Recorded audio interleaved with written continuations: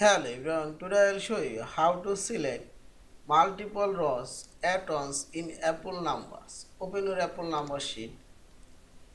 Now simply drag your mouse, select your row as many as row you want to select and see this all of these are already selected.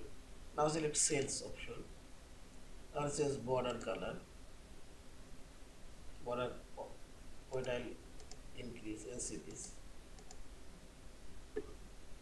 again I will select dragging this mouse see this.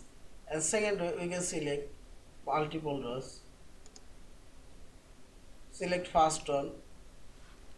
Now hold your shift key and click below any rows and see this. All of this was already selected.